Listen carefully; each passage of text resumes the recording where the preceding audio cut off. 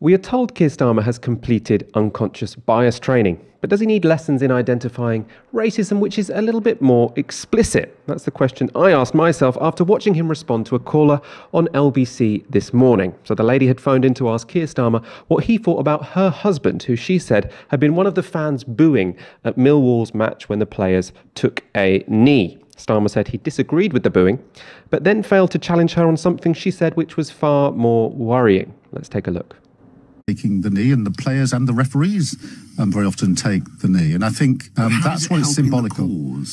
Even Les Ferdinand, who you'll probably know, just to remind my listeners, was a very successful footballer, happens to be a black fellow himself. He's now the first black man to be a director of football. He's with the Championship Queen's Park Rangers, and he says it is hollow. It's like a fancy hashtag or a lapel. It's his achieving nothing. Well, I don't think that's right. What? What? Well, I think the he's counter. man who played football for England. I mean, he, he's in a position of knowledge, isn't he? No, he is, of course, and I respect his view, of course. It doesn't mean I agree with it. Um, I think that what's happened over the many years, this is the counter argument, it's quite a powerful one, is that there is um, racial inequality, there is injustice. And from time to time, it you know becomes an issue. It's looked at for a few weeks, and then it goes away. And this is an attempt to keep the focus on it until things really change. Hasn't the round now focused just on taking the knee? And the important issue of getting black managers, black directors of football, black chairmen or chairwomen of clubs. I mean, that's been lost because we just take the knee. So no, I don't. I don't think it's one or the other. I think you can do both, and it's right. a way of drawing attention um, to it. But I, you know, in the end, it's for each individual to decide how they want to tackle injustice. Why did uh, Gemma? Why did your husband? Sorry, you didn't quite explain. If I may go there again, why did he choose not to, uh, choose to boo? Sorry. Because if anything, the racial inequality is now against the indigenous people of Britain because we are set to become a minority by 2066. And taking the knee, bringing that into, bringing the political sphere into the football arena. Um, and we just have to look across to the Middle East. You know, Israel has a state law that they are the only people in that country to have self-determination. Well, why can't I, as a as a white British female, have that same right? Final point to you on this, Sir Keir. But Gemma, we, we all have those rights. This is about recognising some injustice that's gone on for a very very long time, and I think people were genuinely moved this year um, and want to make sure that that injustice is, is dealt with. And you know, people will look at it different ways, but I think the vast majority of people do want um, a more equal society. Gemma, thank you. Now, I mean, I, I, think actually Keir Starmer's answer in the first half of that clip was quite good. I think his, his defence of people taking a knee was was very thoughtful um, and very persuasive. The second half, though, I mean, let's go over what that caller said. So the caller said that actually it's it's white people who are oppressed in this country because they're about to become a minority by 2066. Projections from um, uh, some demographer now that's sort of become core to the, the great replacement theory. I'm sure Ash will talk about that in, in more detail in a moment. What I want to focus on now that the caller suggested we learn from the nation state law in Israel and pass a law uh, which is basically saying let's pass a law guaranteeing self determination for white Brits. Um, so she's saying, why, why, don't white Brits have the same right to self determine um, that Jews in Israel do? And in response, Keir Starmer says, we all have those rights. No, we, we don't all have those rights. We don't all have the right to live in an ethno state where our ethnicity is, is treated um, with, with, with, you know, as privileged over others. I mean, it's essentially apartheid, right? Now, I, obviously, I'm not saying that, that that clip shows you that Keir Starmer supports apartheid, but I do think it is quite troubling that that is essentially, I mean, that's how you can interpret his words. He didn't challenge um, that woman who said, let's have self determination for white people in Britain, like they have um, self determination for Jews only in Israel.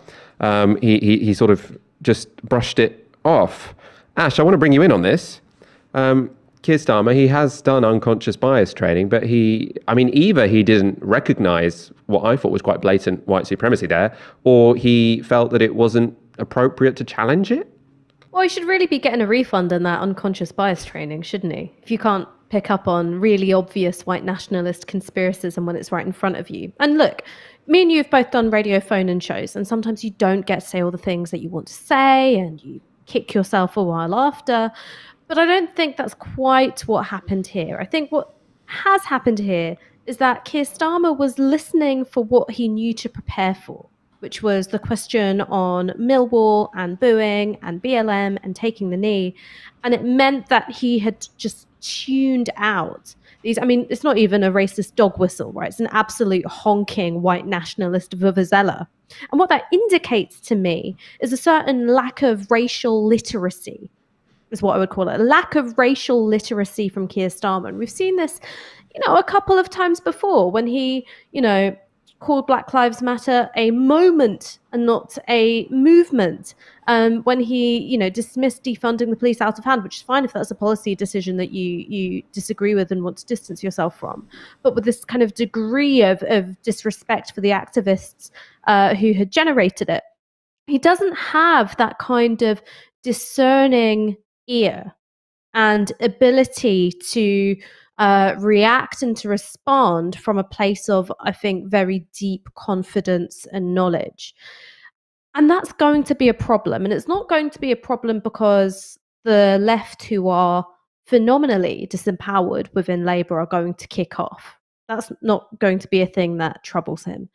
What is going to trouble him is that this phenomenon of great replacement conspiracism and this kind of, you know, subterranean media infrastructure, ecology, which is sort of being generated and nurtured by the alt right, this kind of phoning into radio shows in order to wedge in your white nationalist talking points, that is only going to grow. And unless you have a Labour leader who's able to identify when this is going on and have some kind of prepared response to it, which is making, you know, a real impassioned defense of the kind of society that he wants to see a multiracial, multi ethnic, and multicultural democracy, then a, a Labour leader is not going to get anywhere nearer Downing Street than his predecessors, I think. And there's also one more thing that I briefly want to touch on, if that's okay, and it's about the matter of the Great Replacement itself. Because whenever I call the Great Replacement a conspiracy theory, I have a million and one far right thunderheads in my mentions, sharing this one clip from a video that I did a few years ago called uh, Against Integration. And it's a nine second clip in which I highlight some statistics which had been reported, I think, in the Daily Mail, uh, indicating demographic change in London. And I go, all right, lads, we're winning. And the reason why they clip this and they distribute it as they think that it represents not only me saying, oh, the great replacement is real, but saying, and I'm a part of it. I endorse it and I think it's really good. The actual much longer video uh, is about the research produced by a sociologist called Ted Cantle. And I cite those statistics because I think that what it shows is that he handled this data in a very biased way. He looks at rising diversity and because he judges it by the fact that you have a smaller proportion of white Brits in diverse areas, he goes, oh, that's a segregated neighborhood. I disagree with that fundamentally. The Great Replacement is a conspiracy theory which essentially says that there is a kind of shadowy you know, cabal of elites, often coded as Jewish. It's, you know, very, very close to, uh, you know, lots of other anti-Semitic myths. This great, great replacement, that's pulling the strings to try and, you know, eradicate, uh, you know, the indigenous white race from Europe and America and sometimes Australia. This is, of course, complete hokum what they do is they take these statistics which show demographic change, and there's all kinds of demographic change, right? There's religious demographic change, there's racial demographic change, obviously. There's also age demographic change, which no one seems to have that big of a problem with. And they go, see, your your race is under attack. No, what's going on and what what drives these numbers is that you know those waves of of immigration, which were once kind of temporary. People would come over, they'd make some money, they'd move back. That's changed. People have settled down, they put down roots, they have children, they fall in love. You know, they make lives with one another. They actually perform the kind of integration which everyone's telling me is the right thing to do.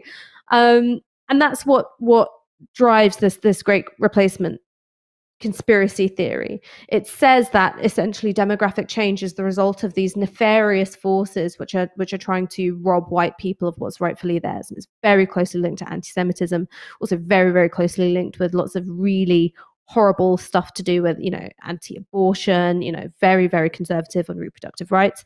And I think it's important that when this is going to be, I think, such a core part of, of you know, the far right story going forward, and you can see that there is this porousness between the barrier between mainstream opinion and alt right opinion because of the kind of like, you know, huge electoral upsets of, you know, Donald Trump having won in the 2016 uh, American election. You know, you've also got hard right Brexit, you've got this current composition of Boris Johnson's cabinet, and then you've also got a media ecology which is constantly drawing on these figures and elevating them to pundit status, this is going to be something which is going to, I think, you'll hear about it more and more in our politics.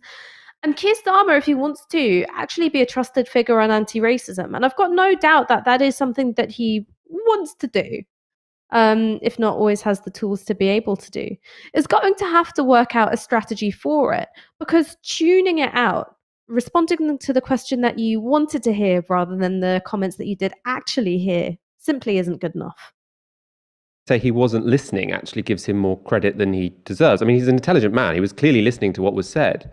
And he didn't he even didn't recognize that something very something drawn from white supremacy was said or explicitly white supremacist was said or he didn't feel comfortable challenging it and, and, and one thing that i think actually stood out for me is that he clearly wasn't paying attention in the whole summer long debate that we had about the IHRA definition of, of anti Semitism. Because if he had, he would know that one of the big problems with that, one of the big complaints people had, was that by saying that um, Israel has a right to self-determine, essentially, that that can be used to justify the nation-state law, which is to say that if a people have a right to self-determination, then they have a right to be an ethnic majority in a nation, which is precisely what's what's um, motivating the nation state law, which is to say that, yes, look, there's concerns in Israel um, that Arabs are you know, reproduce it. I'm using their horrible language. That the Arab population is growing faster than the Jewish population. So to secure the rights of, of the Jewish population, you have to put um, basically a bit of an apartheid clause in the constitution to say even if Jews no longer are the majority, they still are the only people with rights to to have ownership of, of, that nation, essentially. And this is being taken up by white supremacists in this country who are saying, ah, look, there is a danger that whites will no longer be, or white people, sorry, I, I, don't, want to use that language, white people will no longer be whites, the majority. You sound, you sound like, you know, de Klerk or something. The, the whites. whites. Um, I mean, that, that, that's, that's what the caller was suggesting. And because Keir Starmer wasn't paying attention to IHRA, he wasn't paying attention to the nation state law, he didn't notice that. I noticed that in like half a second, right?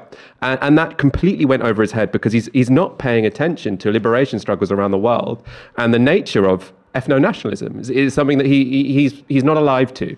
And that means he completely missed the point there.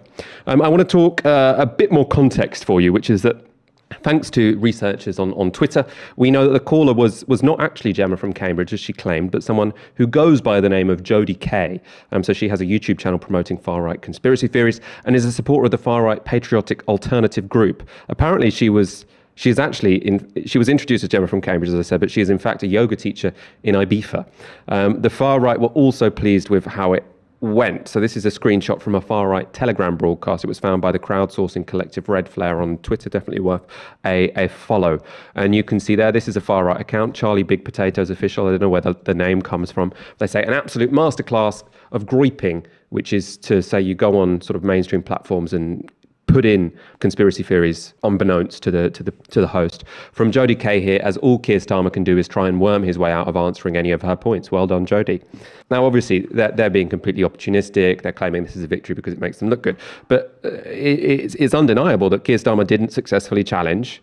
And in fact, by saying we all have those rights, in a way, by accident, I, I'm, I'm sure by accident, reinforced and legitimized the quite horrific views which were being put to him.